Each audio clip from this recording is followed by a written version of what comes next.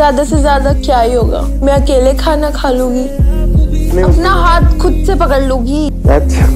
से हम दोनों दोस्त ने डील खत्म। खत्म हो गया। ये मेरा लास्ट था। अब से दूर दूर। A few moments later.